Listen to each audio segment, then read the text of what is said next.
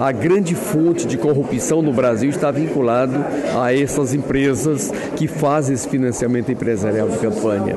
Nós aprendemos ao longo do período de que a empresa tem interesse no mercado, não tem interesse no Estado democrático de direito. Quem tem interesse no Estado democrático de direito são as pessoas.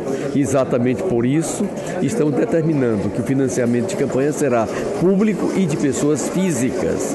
Uma série de outros países que conseguiram diminuir o seu índice de corrupção fizeram também isso. A exemplo da Alemanha e, mais recentemente, a Itália também teve o mesmo processo. O Brasil não suporta mais financiamento empresarial de campanha e o processo de corrupção. Por isso, o Senado Federal acompanha o entendimento amplo da sociedade brasileira e das entidades representativas da nossa sociedade.